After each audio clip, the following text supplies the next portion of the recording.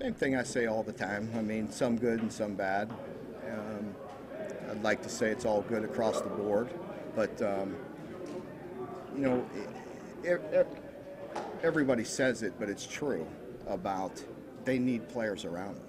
You know, offensively, you have to be all in sync, and you have to have some guys that create some big plays for you. We did hit some today. You know, after it felt like after some of the ones were out of there, they, they we did hit some. Uh, but uh, that's what we need. I think you know the quarterbacks will be fine.